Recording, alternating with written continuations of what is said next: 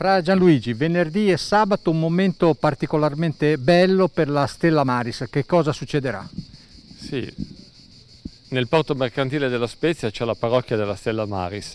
Venerdì e sabato ci sarà un evento presso la sede dell'ex dogane in Largo Fiorillo dove daremo dei libri donati dall'autorità portuale con un'offerta minima di 10 euro. Sono dei libri della marineria, sono libri molto belli. I proventi di questa iniziativa che cosa serviranno Gianluigi?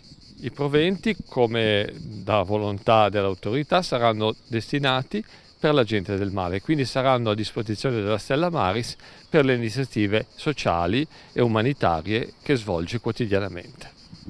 Ogni iniziativa umanitaria e sociale preparata dai frati francescani di Gaggiola vedono protagonista l'Istituto Mazzini e i suoi ragazzi.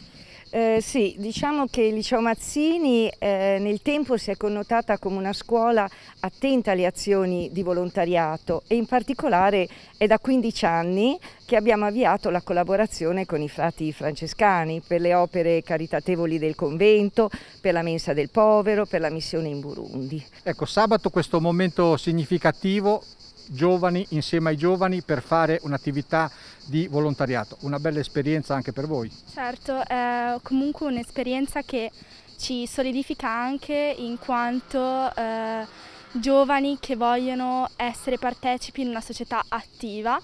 Infatti, per esempio, eh, io eh, da quando sono piccola, da quando sono molto piccola, eh, continuo a eh, essere presente durante la festa di Sant'Antonio qui con i frati e per me è un'esperienza magnifica, piena di gioia, perché so che posso aiutare chi ha meno di me e posso fare comunque del bene. È un'esperienza quella di venerdì e sabato che suggerireste ad altri amici?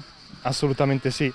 Infatti il 25-26 giugno saremo a Largo Fiorillo e distribuiremo le copie del libro dedicato alla festa della marineria in un volume che conterrà oltre 900 fotografie oltre a dibattiti sulla sostenibilità e anche percorsi didattici innovativi in collaborazione con enti come Contship, CNR, Unicef e Marina Militare.